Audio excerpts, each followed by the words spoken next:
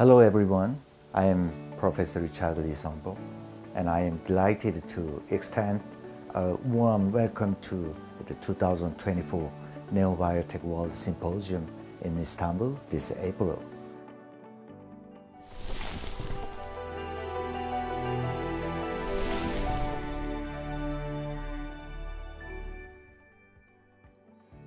This symposium is not just about lectures, it should be a unique opportunity for us to connect, share, and learn the purpose-based implantology together. Make sure to catch the clinical recommendation at the end of each session. Our esteemed speakers will distill the essence of all the presentations into practical takeaway messages focusing on crucial clinical aspects. These insights are practical, actionable, and aimed at enhancing your clinical practice.